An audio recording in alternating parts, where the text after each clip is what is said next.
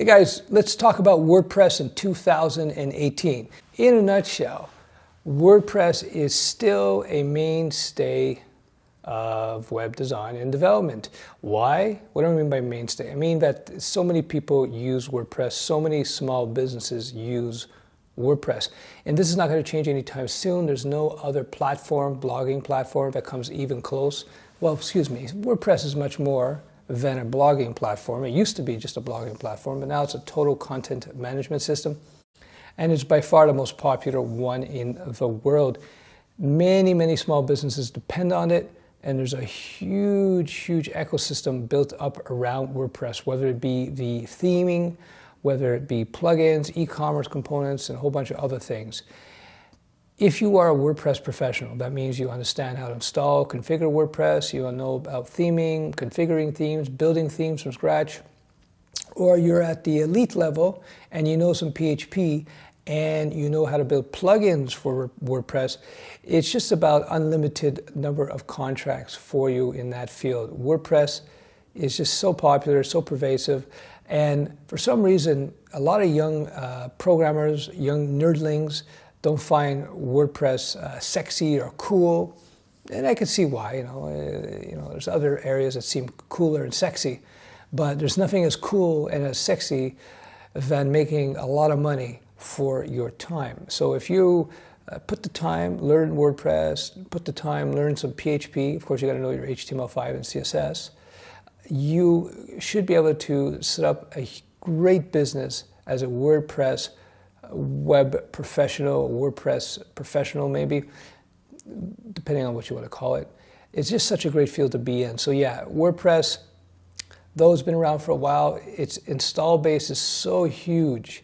And the install base is mostly small business owners who need something more than a static website, who need something more than a Wix website.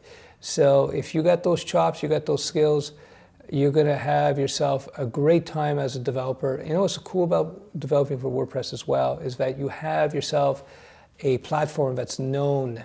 So, in a short period of time, you should be able to uh, solve any WordPress problems that may come up, any theming problems that may come up, because it's it's fixed, right? It's not like you're developing custom apps from scratch every time. So how do you become a WordPress professional? Well, first you got to learn the basics of web development and design. That means HTML5, CSS3, a touch of JavaScript. You got to know what jQuery is. You got to know what Bootstrap is. You got to know what uh, you got to know your PHP as well. It's not absolutely necessary, but if you get some basic PHP skills, then that takes you to a whole new level. My full stack web developer course, my interactive web developer course, will teach you all this and a lot more, by the way.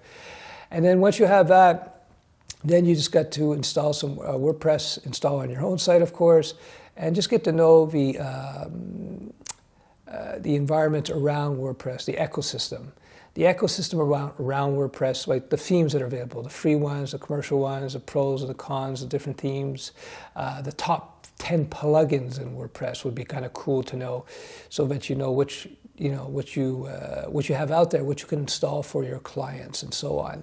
And maybe understand. Of course, you got to know the basics of theming. My again, my interactive web developer course teaches you WordPress theming, and uh, maybe a little bit of plugin work as well. Although again, be able to design plugins from scratch, not necessarily uh, required, given you have so much out there already and just being able to lock down WordPress in terms of security. You got all that covered. You should, you have enough skills to go out there and start securing a lot of WordPress-based contracts. And in a short period of time, you could find yourself with a stable of clients who come to you on a regular basis. You could set up retainers with them, and it's just like a very lucrative, very lucrative degree, uh, degree, a very lucrative business to get into. So I'm thinking in terms of uh, freelancing, although you know you could get a job working for WordPress freelancing studio and get a really good job doing that as well. So yes, WordPress is extremely viable in 2018. For some people, it's not the sexiest, but you know, as I said, if you're making money hand over fist, that's pretty sexy.